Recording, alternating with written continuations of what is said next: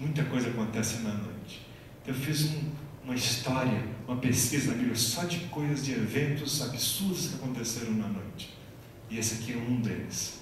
Pedro chorou amargamente. Eu não sei se Pedro chorou que nem bebê.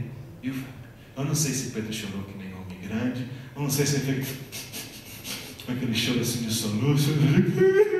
Eu não sei como é que foi o choro de Pedro, mas a Bíblia fala que ele chorou.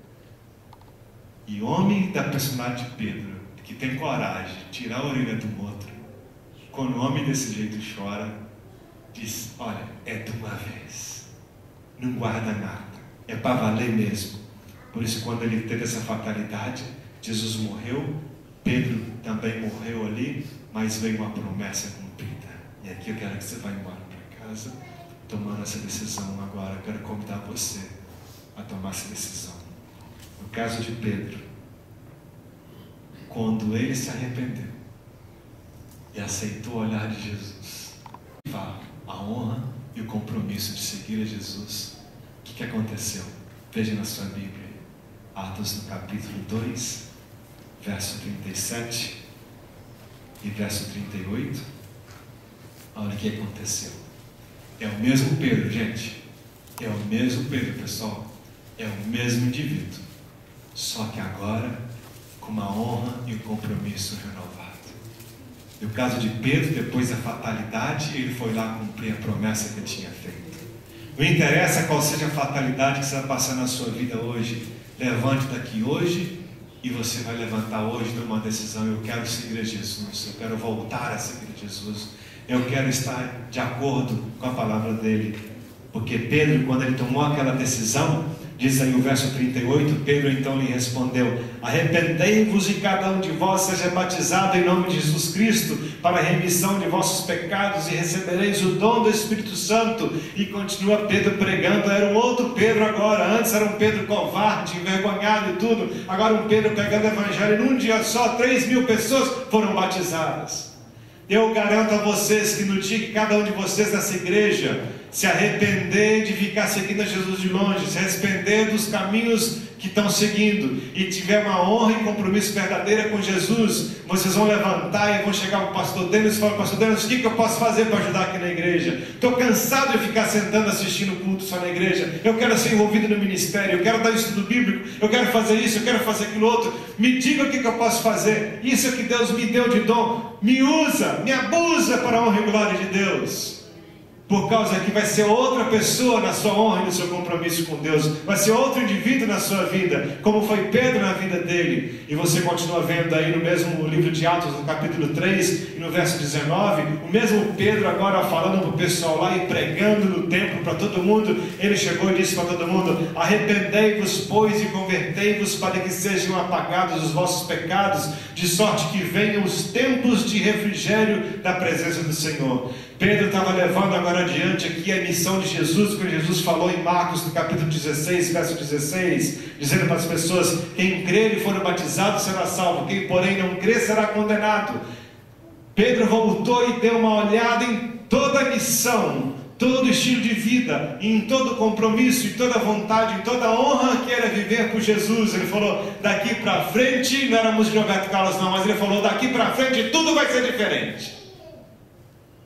Vai ser tudo diferente. E mudou. E mudou.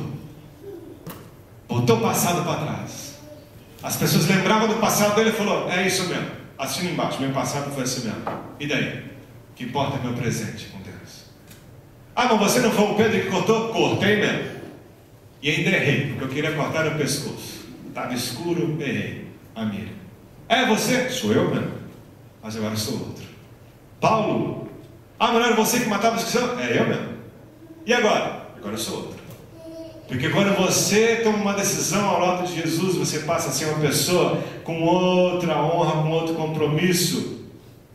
Mas tem uma pessoa a mais na nossa história aqui que fez uma promessa e que também depois da sua morte, depois da sua fatalidade, ele foi para poder cumprir a sua promessa. Duas coisas. Jesus depois da fatalidade, depois da morte, depois de oferecer a salvação para você. A Bíblia fala em São João 14, verso 26 e verso 28, que Jesus então, ele foi, ele tem essa promessa cumprida hoje e sempre. Ele oferece para você uma vida de honra, uma vida de compromisso com sua paz e com sua vida eterna. Quando a Bíblia fala aqui, mais o ajudador, o Espírito Santo, a quem o Pai enviará em meu nome, esse vos ensinará todas as coisas e vos fará lembrar de tudo quanto eu vos tenho dito. Deixe-vos a paz. A minha paz vos dou, e não vou lá dou como o mundo a dá. Não se turbe vosso coração, nem se atemorize. Ouvistes que eu vos disse? Vou e voltarei a vós. Se me amasseis, alegrar-vos eis e eis de que eu vá para o Pai, porque o Pai é maior do que eu. E Jesus então foi para o céu preparar um lugar para você, preparar um lugar para mim. E João viu essa promessa repetida lá no livro de Apocalipse. Ele deixou essa promessa para você e para mim é a promessa de Deus, é a honra, é o compromisso dele de que ele vai voltar. E como que ele vai voltar? Diz a Bíblia em Apocalipse, no capítulo 21, verso 4 e verso 5, a palavra do Senhor diz o seguinte: Ele enxugará, amigos, ele enxugará Olha só o que, que fala aqui. Ele enxugará. Eu não canso de ler essa passagem bíblica. Essa passagem bíblica é uma realidade na minha vida, a cada instante, a cada momento, a cada dia, nos últimos cinco anos da minha vida. Ele enxugará dos seus olhos toda lágrima, e não haverá mais morte, nem haverá mais pranto, nem lamento, nem dor. Por quê? Por quê? Porque já as primeiras coisas são passadas. Que você tem hoje no seu corpo vai ser passado. Tudo que eu sinto hoje no meu corpo vai ser passado. Tudo que eu levo na minha vida, as angústias, as decepções, tudo que você leva hoje na vida vai ser passado. Todos os calotes que você recebeu na vida por causa a gente não cumpriu palavra e nada vai ser passado. Porque Jesus há de vir e cumprirá sua, passar, a sua palavra. Por isso que a Bíblia fala, queridos irmãos, no verso 5: E o que estava sentado sobre o trono disse: Eis que faço todas faço nova todas as coisas, e ainda acrescentou: Eu digo para vocês hoje aqui, escreve, porque essas palavras são fiéis e verdadeiras. Essas palavras têm honra e têm compromisso. Honra porque vem do Pai que me criou, e compromisso porque a palavra dele jamais falhou. Eu não tenho que temer, mas eu tenho que saber que ele vai vir, ele vai voltar mas você precisa de passar da fase de amizade, da fase de algum problema que acontece na vida, de algum momento difícil que acontece na sua vida e passar para a fase, sair da fase de fatalidade espiritual e vir para a fase de cumprimento da sua promessa, do seu comprometimento que você fez com Jesus. Quantos de vocês hoje são melhores cristãos? Quantos de nós somos melhores cristãos hoje do que no dia que nós somos batizados? Quantos de nós andamos hoje mais perto de Jesus do que no dia que a gente foi batizado? A minha cristã é o crescimento. Eu quero dar oportunidade para você nesta noite para aceitar um convite de Deus. Eu quero convidar aqui à frente o conjunto para a gente cantar novamente a música oficial dessa semana. Mas eu quero fazer um convite especial para você. Eu não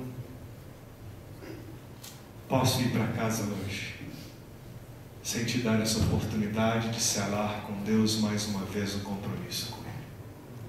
Quem sabe alguns de vocês hoje aqui são amigos de Jesus. Vocês amam Jesus. Vocês têm Jesus como seu salvador pessoal. Isso é lindo, maravilhoso. Mas quem sabe, às vezes, alguns de vocês estão como Pedro, passando por uma fatalidade espiritual nesse momento da vida. De alguma forma, alguma coisa está atraindo ou atraiu você um pouco para longe de Deus que te leva a viver com dúvidas se você se vale a pena ou não andar ao lado de Jesus.